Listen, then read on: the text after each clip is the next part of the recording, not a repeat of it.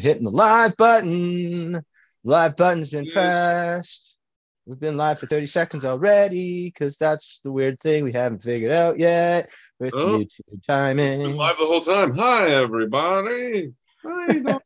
You, Uh, you- you- you Uh, did I it don't again. have like my YouTube open or anything. I can't see anybody. I can't hear anybody. I'm a It's- it's- blind, naked mole rat down in a hole, feeling my, my way around.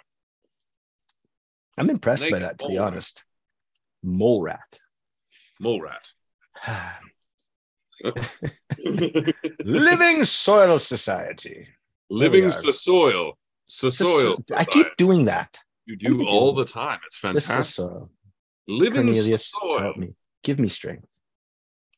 First off, I'd like to give a special thank you to our sponsors at Green Rush Nutrients. Stick it in your garden hole.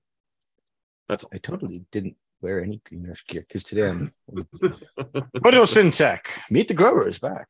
So Yeah, if you guys are not familiar with Photosyntech, I imagine everybody is, but if you're not, go check out his solo channel. He's got some really interesting information on medicinal growing uh, and a huge community and a huge following. He's kind of a big deal. Yeah, I know a thing or two about a thing or two. That's about it. But it's good times. two about three or four things. Yeah. And rumor has it there might be a little bit more Tim on the Photosyntech channel. So In the near stay future. tuned for that. Yeah. A couple, a, a little bit of TNT with TNT. Tio, blowing shit up, buddy. I Mm. swear. My virgin years. Okay, so exciting show tonight. We're gonna do Yes, our do. first live As demo. always. When do we not have an exciting show, man? This is true. We're we're good times all the time. Yeah.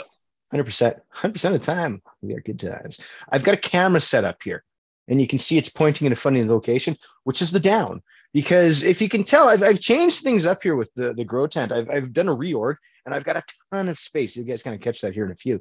But uh, what we're gonna do tonight, we're gonna build some sips, and then Tim's gonna talk about some cool compost stuff. But first, we're gonna get into some garden updates. Indeed, we are. Yes. Indeed, we are. let's uh let's open up some updates why don't why don't we start off uh with you or do you want to start off with me or Um, I think. Oh, it's me. Me this time. you okay I'm I'm gonna show me mine and you show me yours. walk us walk us through just- matt gonna promised not to have a dozen photos so like it's going to be team spanking if he does Oh, I uh, just like my pictures. I thought. I like my pictures. I like my garden. I like looking at my garden. i like nice place. strawberry Right. Strawberry. strawberry It's a little I'm, I'm having on the some late, bottom, but I'm, I'm having some late strawberries right now too that's that's what I love about the time of year. Is spring and fall. We always get strawberries, and the, the ladies were producing this year. Not very big, but just so much flavor. I, I don't buy store bought strawberries. They've been ruined for me. So I'm I'm going to be blunt and honest. The strawberries that I grew, these Russian uh, climbing variety strawberries, are the least flavorful strawberries I've ever had. No kidding, eh? Like worse than the store bought ones. No, no worse than store-bought ones. But for- Okay, okay. That's I good. have That's good. so they're the least flavorful that I've grown. There you go. White Russian strawberries. Don't get the. Uh, these are the. Uh, I can't even remember. They've been sitting there for like eight or nine years. I've had the strawberry batch, and it just keeps on producing. I'm in love. I'm in love with these, man. These are the teddy bear sunflowers.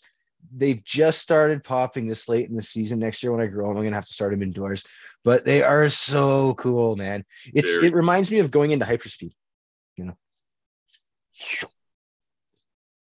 Very cute. There we go. You know, I could have taken a better picture and not so much focused on the leaves, but hey, Yeah, we're, we're not we're cool. I- gardeners, not photographers. I was going to ask you actually, uh, are is there some little patches of powdery mildew on the sunflower leaf that I'm catching in the back, or is that just an Uh, odd? just just the odd angle, but you know, you bring up a real good point. I've been cleaning out powdery mildew the last couple days in the garden and stuff. Uh, it's just we're that late in the season. We've had Yep. pretty decent weather, but cold at night, and well, powdery mildew loves the cold. Bingo. Yeah. Bingo. So now the pumpkin, I I realized when I took this picture, I was looking at it like, okay, because I've got my arm in there, it doesn't quite work out until I zoom in, and then it's like, look at the size of this thing. I, I'm easily over 50 pounds. I'm gonna say Well, close I, to made, I made you I made you pick it up the other day, so yeah, Yep. confirmed. So that's uh, it's heavy, man.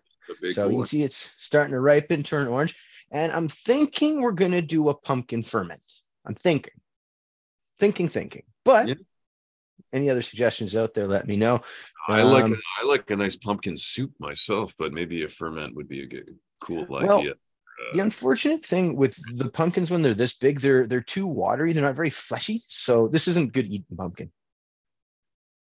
Thank It's you. good That's growing. it. And finally, um, the fourth picture. This is a uh, sideways picture of a uh, cabbage flea beetle. Yeah. They've absolutely infested my yard everywhere. I noticed them today, like just little black dots everywhere, and they bounce, bounce at you. So in and out of the house, coming out of the house, I'm, I'm shaking off, being real careful. I'm doing my best not to carry anything in with me because these guys like eating the green leafies. Yeah, so- And well, as you can see, the green These are leafies. the type of bugs, Matt, that that actually get cleared up by flocks of those little chickadee birds. So when you see all those little birds come down, that's what they're eating. Is they're picking up all these little beetles and and and the, the like. Yeah. Um, I would be. I what I would recommend. Take a couple of days and ensure that Cheddar doesn't hang out in the backyard for a couple of days because he's probably Yeah. scaring the birds off that would normally land and pick these things off and and decimate the population, right? This is a Uh, or hire the chickens, hire the chickens you were talking about earlier. So Yeah, absolutely. Unfortunately, these guys are up everywhere. Uh, a couple of days, it's going to be cold here. Like we've got frost coming, so it's it's imminent probably in the next week. So oh, those are good eating, Matthew. You put those in a bowl, serrate them up a little bit, and then just eat it like Crunchy. pork. punchy. And Tim, yeah. Where are my testicles, Summer? Where are they? Uh, so I- figured I would show you guys. I'm I've, I've really been going whole hog as far as preparing the indoor space and and uh, reacclimatizing outdoor plants to indoors. So we're on week two for the majority of them now that have been brought inside. Uh, no signs, knock on wood, no signs of pests yet. Uh, however, I did a dispersal of over 10,000 mites, so 5,000 ground mites, 5,000 leaf mites, um, and uh, it's it's looking golden. So this spot is actually right behind me here. You can see the stand kind of standing up there. So that spot uh, is brand new. So I, I, it was previously. You can see a cat bowl down at the bottom of the of the uh, of the picture there. Uh, that was basically a long table that the cats used for chow, uh, but they exclusively use the dining room table now. So this is kind of dead, wasted space that I'm going to now take advantage of. And as you can see, wrapped uh, nice uh, philodendron up, uh, as well as the pothos I already had going, and all sorts of other goodies. gorgeous. That big spider plant is the one I got on top of the mountain in Banff with you. Nice, nice. Looking great, man. Looking great. Next shot, the window shot.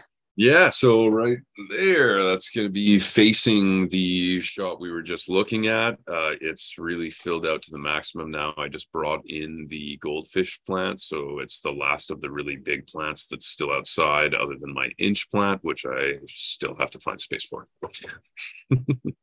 There we go. Looking great. And Last but not least, the succulent station, the kitchen. I show this often, but it's uh, it's it's probably the most colorful and and unique spot. I don't know, but for me, I love succulents. Um, it's it's packed to the gills as well, so we can barely do laundry, just barely. well, you know, you got to have plants, right? I mean, that's the important thing. Yeah, yeah. And I got some new cuttings this week as well. I went and uh, did a consultation for a community member here where I live, uh, who had reached out on Facebook looking for help with plants. And uh, I got some cuttings of a, a rare uh, Filipino lemon tree. It's like little mini lemons. No, that's So cool. That's Hopefully, I super can cool. manage to get those rooted. Yeah. Got wee lemons, the tiny lemons. Mm. All right. Tiny lemons. well, that's our updates for this week, folks. Um, I think we're, I think we're gonna maybe look at doing uh, like a community garden update pick here soon. Uh, Yeah. You know, sh- sharing something from the community. We're gonna get into a little bit more of that later. But now, now it's time to build a sip. So I'm gonna I'm gonna get up and we're gonna do some stuff here. I'm gonna move my chair out of the way. Um, this is gonna be interesting. So, like, So, like on the cooking show. Yeah, before before Matt goes in because he's excited uh, to the tits right now. He called me like an excited little girl a couple of hours ago, saying, "Oh my God, it's amazing! It's the best thing I've ever done in my life." Other than his children, of course. So uh, he's too excited. So sips is our are sub irrigated planters. Uh, some people know them as like auto watering pots, uh, but basically what it is is it's a soil reservoir on top of a water reservoir that wicks using the soil itself. So generally you'll have like a stump of soil that goes down into the reservoir and actually wicks that water up into the soil and maintains kind of a, a perfect, beautifully moist uh, uh, moisture level, if you will. So what Matt's got here is he's got two five gallon buckets sandwiched into each other. effectively. And Yeah. I mean, that's that's the thing. That's where this is super easy. Whoop. I knew that was gonna happen. So he's got his two reservoirs there. Bottom one is going to fill up with water. Top one is filled up with soil. This And one's just as- got a bunch of holes, and effectively Yeah. it fits down in here, just like so. Cube goes in there, little pot goes in here, like that. And I mean, it's just that easy. So I'm going to show you guys real quick how to do this. Now, the nice thing about this build is it doesn't really require anything for tools other than a knife and a drill with decent sized bit. You know, you, you don't want to go too tiny because then you're potentially going to be drilling a lot of holes. Um, never spare use finger, a knife. Spare you could- you could also use a couple of spare fingers that you don't mind losing, right? This is true. This is true. So And to that maybe a point- maybe a little safety advertisement uh, as well before we start. Well, I'm just going to say never use a knife sharper than you are. Um, that's that's the best way to approach the scenario. But um, when I'm using this knife, guys, um, any any sort of uh, razor knife, be super careful. Like when I'm using this thing, I'm I'm bringing it out about that much, right? And I'm going to show you how to stay safe when you're doing the cutting. So the first part of this build is actually pretty simple. Um, oh, and the last thing you need is uh, you can use a hole saw. Uh, this is a one inch hole saw, or you can buy like a one inch spade bit. But the, the the trick to it here is a PVC pipe like this. It's one inch on the inner diameter, um, and it's about one and a quarter on the outer. So you want to make sure that you get something that's actually going to fit. Go to the hardware store, say, look, I need something that's going to drill a one inch piece of PVC pipe. Because when you're going to get your PVC pipe, you're going to be there anyway, right? So uh, the total cost for the, the build, um, you have to buy a length of PVC pipe. They're about 10 or 12 feet long. And depending on where you are, they're $10, $12, $15. I haven't looked at PVC in a while. I had this stuff sitting in the garage, but this is one inch PVC. I wouldn't recommend going any smaller than that because it's difficult to water into. Yeah, Okay. agreed. You're going to need a net pot. Okay. This is, uh, this guy's about, oh, I think this is a two and a half, maybe a three inch. You can go a little bit bigger. Um, it, it, it doesn't really matter. Um, this, this one doesn't quite reach down to the bottom of the uh, bucket, but again, that's not a huge deal either because you can put some wicking material in that. We'll talk about that a little more in a minute. Yep. Otherwise, that's it. You don't need much. This is a really simple build.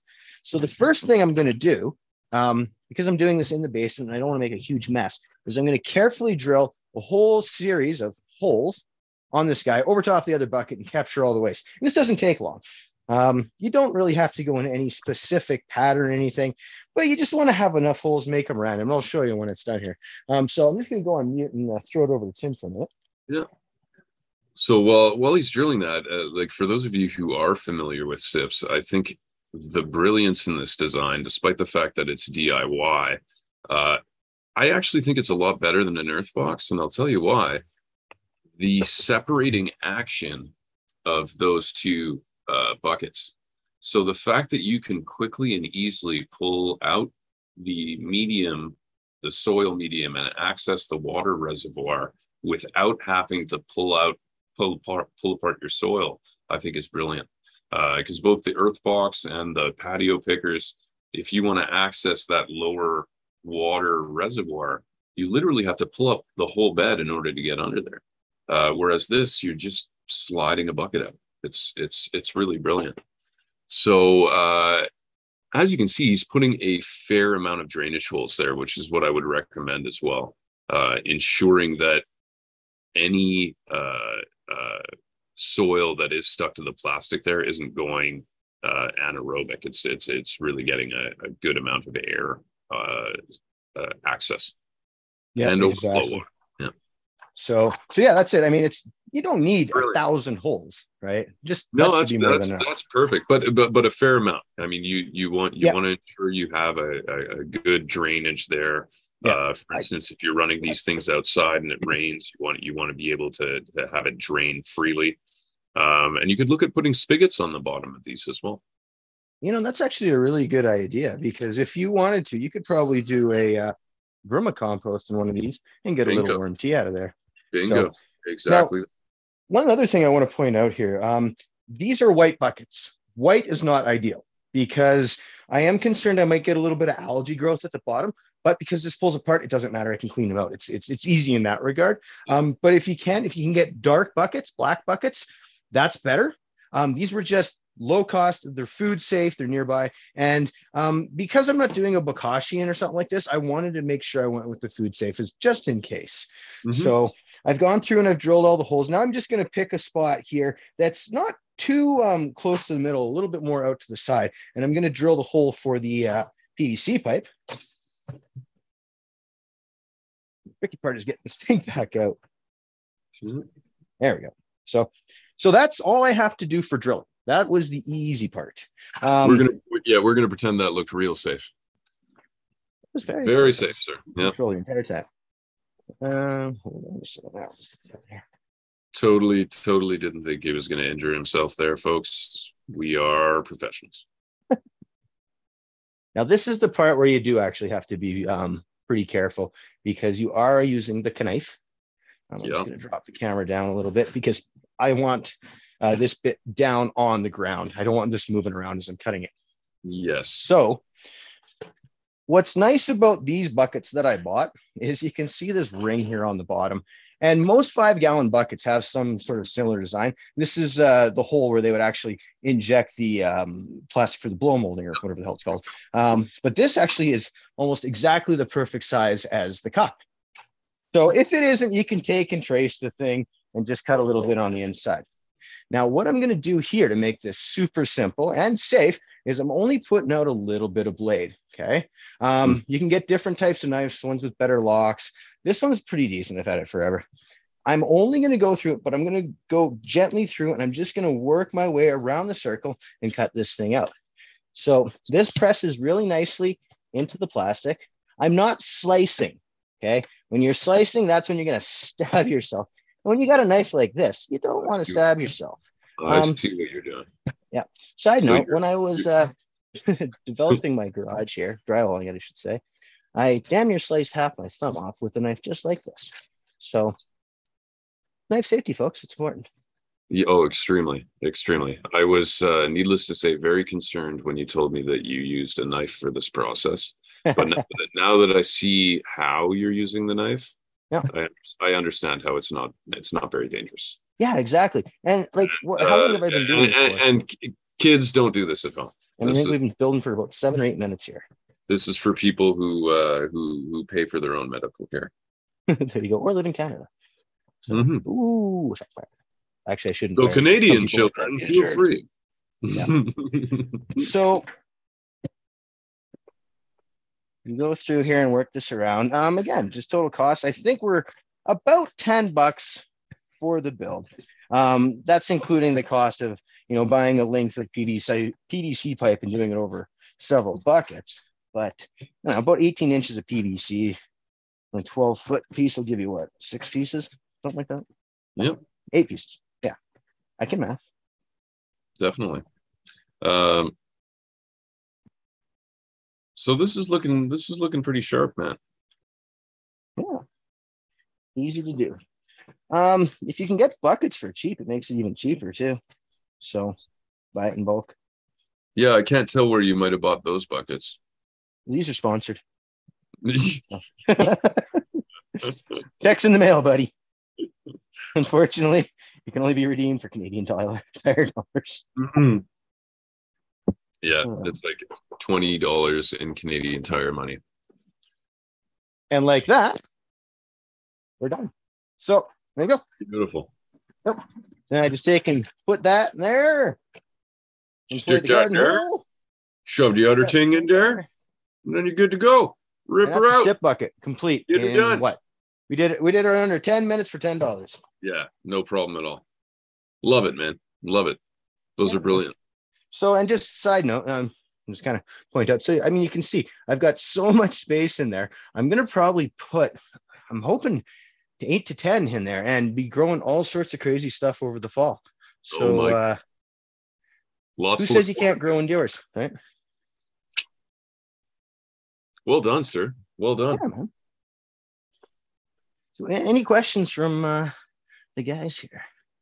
Figure out some type of float system so you can see how much water is in the buckets. Yeah, absolutely, Rubik's. Um, I was thinking of something along those lines, but because these buckets are white, I can just look at them. But any other dark bucket, yeah, like uh, some uh, little point. piece of plastic with a with a bubble on it, kind of thing. I don't know. Mhm. Engineering, man. I don't know. Engineering. Float system, float system. So, oh, Uh, easy peasy, lemon squeezy. Force your nearest adult to do it for you. That's right, sir. And with that, I'm going to drink some apple juice, frosty apple juice, and deliciously frosty apple juice. And I'm totally happy I didn't cut my thumb off there. That would have been Oh, entertaining to some, but not. It would have been the best episode we've ever done, but also awful. Yeah. Matt and Tim go to the hospital. All right. So, vermicomposting is one type of composting, and you were going to talk about different types as we get into the fall here, and people have all that garden waste to deal. Yeah, yeah. So uh, basically, I, I just wanted to kind of give a quick rundown of some of the things that, you know, as you're tidying up the garden, as you're tearing down, you're going to have a lot of plant material to play with. Um, and I figured I'd kind of give a friendly reminder and rundown of, of the various ways you can use that material to your garden's benefit. Uh, so yeah, I have a little, another little slideshow here to go through with you folks. If Matt can get it if I can there. ever get on the things quick. So I'm just I'm quickly reorienting a couple pictures because Yes. Yes, yes. All right. Um, and if you haven't stuck green rush in your garden hole, why? That's Yeah, uh, try it out, guys. Honestly, uh, I'm liking it. fantastic stuff. I've been running it now for a couple of months. Um, impressed. So, and we're gonna definitely be putting it in these garden holes that I just made. So, uh, like green rush. They- And works. It works in sub irrigated planters. Confirmed. yes, I, I could be sub irrigated. So- Let's start out with the very first thing that I would suggest, and it's, it's probably the easiest for somebody like me who is in an apartment, and that's bokashi style compost. Absolutely. So bokashi, if you're not familiar with it, is is essentially uh, uh, an inoculated bran that you're adding to uh, decomposing plant matter. And above and beyond plant matter, the beautiful thing about bokashi is it gets rid of everything. So fats, bones, uh, all the stuff your mom told you not to put in compost, you can put in a bokashi bucket, and it'll destroy it. Uh, Yep. So it's it's labs. Essentially, you're looking at uh, lactobacillus uh, bacterial uh, spores uh, breaking down things anaerobically. So that's without air, and that's the important part of this. You'll see he's doing this, and I borrowed this picture. Thank you, uh, Matt, uh, Yep. from from your bokashi bucket. Uh, but yeah, on to the next. Yeah, actually, just one point real quick. Um, you guys see there's a lot of pumpkin material in there and whatnot. Um, I've actually been taking the liquid out of this and feeding it back to the pumpkin, and that's part of the reason why it's so big. Bokashi. Cannibalism, Plants cannibalism. Speaking of so this this is a filled up, fully bloomed bucket of bokashi here, and I just wanted to show you kind of the beginning and what the end should start looking like. You're going to see uh, a white my- mycelium growth making its way throughout all of the organic matter that you have in that bokashi. And although you see it in a giant 55 gallon drum here, you can do it in something as small as a Tupperware container uh, in, in, under your kitchen sink. So uh, very very easy to use. And of course, with Bokashi, you want to keep the oxygen out. Yep. Um, The mistake with this one was I, I actually did a whole bunch of grass in here, and uh, you can't really see here, but the rest of the bucket wasn't breaking down as nicely because of so much grass. It would have over time, but um, you you want to use green, leafy stuff and vegetable stuff that compacts. Don't use a ton of grass. If you are, really space it out. So chop and drop, another photo from Matt's garden. Uh, this is a really popular technique that's been around for as long as I know, and that's essentially the basis of it is you're chopping down the existing plant material that's left in the bed, and you're letting it lay where it is. Uh, you it, the best way to do it is to then cover it with some type of mulch. Matt's doubled down here. He's actually covered it with compost, and then next photo, mulch. So he's done it with straw here. You can do it with any type of mulch, even leaf litter from around your yard, which uh, hopefully that's going to be the next one up. Ooh, nice. Yeah, good timing, right on. Right, So, uh, leaf mold. Leaf mold is one of the coolest er, free inputs that you can use in your garden. Uh, almost anybody that has a yard gets leaf litter. You can accumulate that leaf litter and use it as a powerhouse in your garden. Um, making it yourself, it takes a long time. It's a long process, but it results in some of the best nutrients you can use uh, and and soil conditioners you can use because it really helps with water retention. Uh, you're fungally inoculating the soil, and it's basically just a bunch of leaves. Put it in a bag. Make sure you poke a bunch of holes in it, uh, and it'll break down over the course of the next 12 to 24 months and become a rich, dark, humus-like material uh, that has everything that your plant craves. Beautifully moist. So this is just some examples here of, of, of the mycelium grow, growth that you should expect on, on a good leaf mold. Always indicative of a healthy system. Oh, whoop, whoop, sorry. Kind of No, jumping the gun there. That's true. We've got we're some good. upside down mushrooms here. So, oh yeah, it's upside down. All right. So, uh, I, I just want to first off say thank you to our community because I did, I did, I did uh, take some pictures from our Discord community uh, to share some of the various styles that are available. So, uh, this is our man Big Stress, uh, and uh, he's he's got a traditional compost heap. So that is an aerobic process. Unlike bokashi, that's anaerobic, so lack of air. This is aerobic, so it needs air and you go in there and you turn it regularly and, and it heats up and there's there's a lot of uh, microbial activity going on. There's fungal activity going on uh, and there's insects in there as well. So you're going to get the benefits of every process. It's basically any type of native organism that you want to harness in this type of bed you can exploit them. Uh, so just to show you if you can go next slide, Matt. I can. There you go. Yeah, so this is good. So he's he's got actually got a temperature gauge in there to check the temperature, make things are make sure things are cooking off. But I want you to notice is that wire that's wrapping it around it, as opposed to the the big plastic bucket that Matt had the bokashi in uh, to keep air out. This has a wire cage to keep air uh, having access, right? Yeah. Pallets are another popular technique. I've seen systems built where guys do sections of pallets and have two or three different piles. There's a lot of different ways to do it. And honestly, if, if you're not adding compost to your garden, um, you're missing out on one of the best amendments. Yep. One of the other best. And this goes on to the very best compost. This is really kind of the cream of the crop, and that's vermicompost. Uh, so again, this is a, a bed of worms. big smokes, just showing how many uh, how many worms he uh, had in there, or big stress rather, uh, showing how many worms he had in his garden. Uh, next next one over. Uh, this is our man Johnny Titan, who is quickly becoming a worm expert. Um, and he's got so he, he was showing off here. This is a double style bin, so you got a bunch of holes in there, and then you have multiple levels of bins, and you're basically uh, switching them out because the lower bin is going to fill up with uh, liquid or uh, what's the word I'm looking for? Casting? Uh, oh, no, oh, leachate.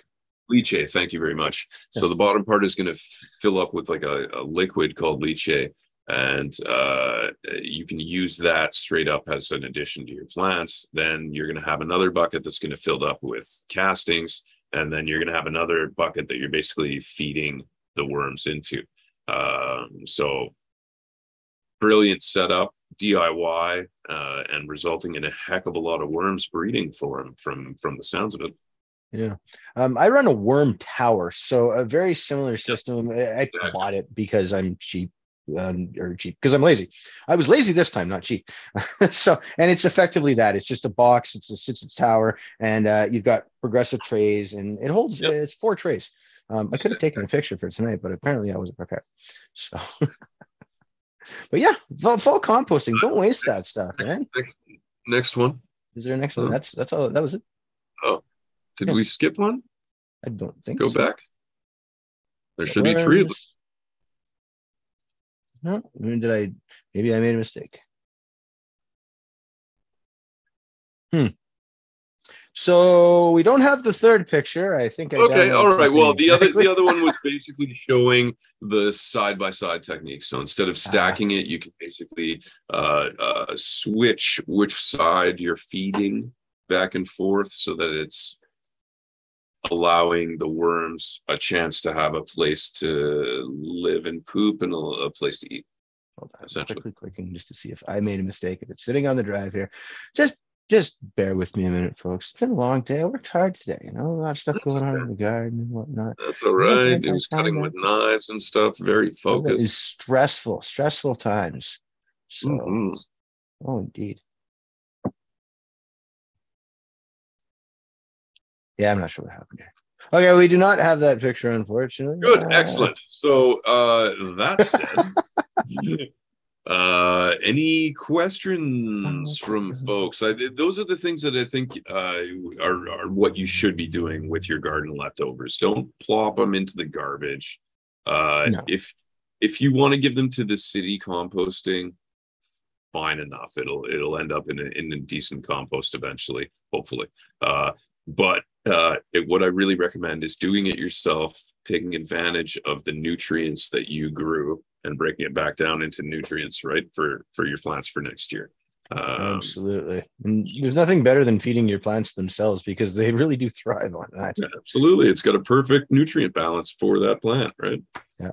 Um, and just touching on the final point of the night, uh, rhino jousting, we, we had everything planned. It was set up it fell apart it, last minute. It wasn't us. It was the rhinos. They, they, it was they, the rhino. It was the rhinos. I had a deposit diarrhea. In. If you've ever seen a rhinoceros oh. with diarrhea, diarrhea, you would understand Just, why we can't joust with them. Ah, uh, ah. We didn't think it out. We're we're going to come up with something equally exciting for next. Better week. next week. Better next week. It'll be better next time. Yeah, we'll make it up to you guys.